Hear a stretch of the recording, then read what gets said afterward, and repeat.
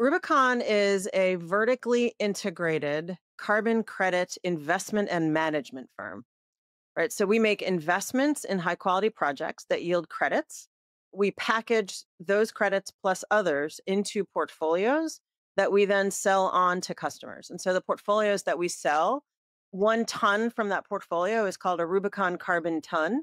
You could think about it like an EFT, right? Like, so one share, one Rubicon carbon ton is basically when you buy that ton, that ton is comprised of you know little pieces right of each one of the projects that make up that portfolio. So when you buy an rct what you're buying is the right to retire that credit at some point in the future that you decide.